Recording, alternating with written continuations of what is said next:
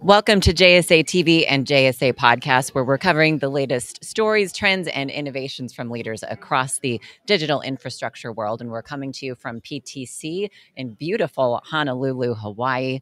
And I'm joined now by Juan Font. He's the CEO and president of CoreSite. Thank you so much for stopping by. Uh, my pleasure. Glad to be here.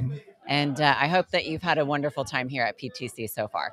Yeah, it's been it's been great. Uh, the weather is obviously wonderful. The location is great but the quality of people that come in and the amount of um, high level conversations you're to have is, is fairly unique. So it's been a great event so far. Absolutely. I've been hearing that across the board and couldn't agree more. Well, let's talk about CoreSite. You guys have a lot of things going on, no lack of topics here for us to talk about today. Um, but first, could you just give our viewers an update on the latest since American Tower's acquisition um, back in 2021? Yeah, so the the biggest change for us really having a, a massive influx in capital, and that has allowed us to accelerate our development. For example, um, we are about to finish SV9, it's our largest build yet in Silicon Valley, 34 megawatts.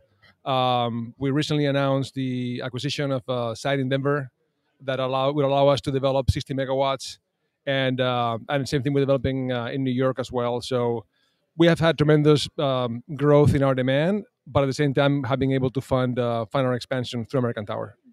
Yes, a lot of success and a lot of growth. So congratulations on. Thank you, mahalo. Yes, absolutely.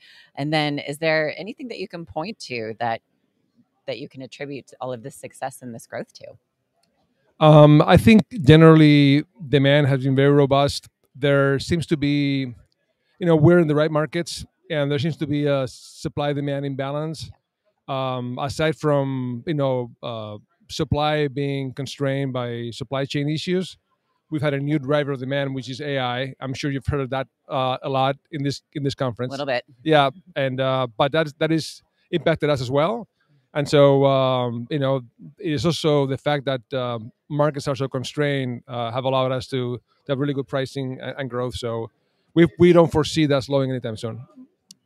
Absolutely. Speaking of not slowing down, we've also heard that you've had considerable growth with your Open Cloud Exchange multi cloud network platform.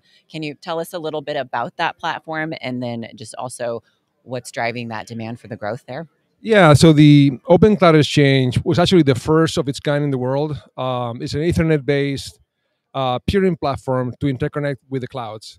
And we have growing it steadily. Uh, we were the first to launch with Direct Connect.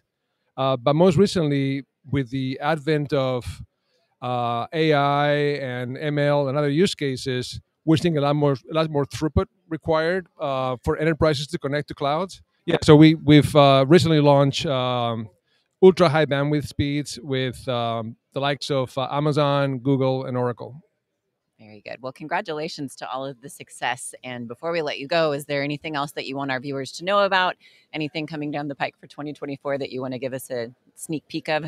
Um, there's a lot more, a lot more growth. Um, we're delighted to have uh, this many customers, um, but it's a great time for this space, and uh, I hope uh, to see you guys in one of our data centers.